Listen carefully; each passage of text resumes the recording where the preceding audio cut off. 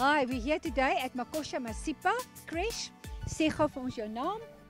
My name is Margaret Mukubedi and the creche is Makosha Masipa. Ek is nou 5 jaar en 6 maande.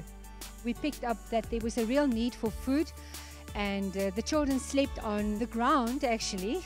Um, also no toys, no gas, no um, equipment. So what we've done since February last year is together with Oyama, we've started to put a feeding program into place on a daily basis.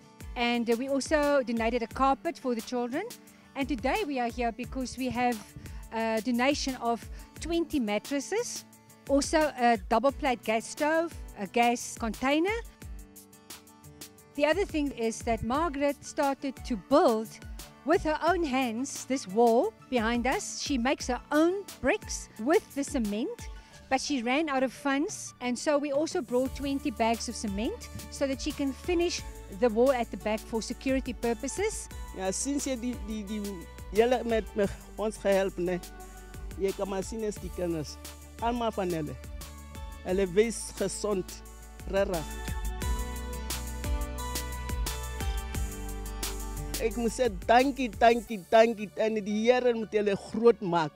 I just want to say thank you to Jan Klaasen, the managing director of Oyama,